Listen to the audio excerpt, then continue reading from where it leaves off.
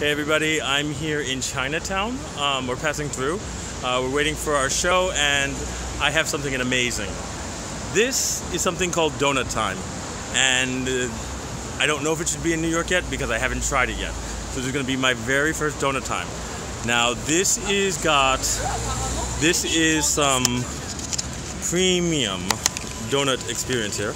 Or it looks like it, I haven't tried it yet, but I can't imagine it's not amazing because look, so inside of there is honey, honeycomb custard, and uh, I'm about to have my first bite. Um, I have I've never heard of this place. I just saw the window.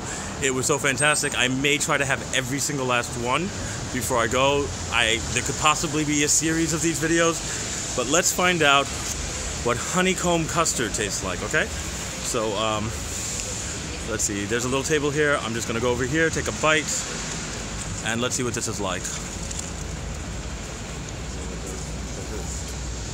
Oh my god. You coffee in here? Oh god, it's so delicious. Okay. Mm, I'm. okay. We need this. Like in New York, right now. Delicious.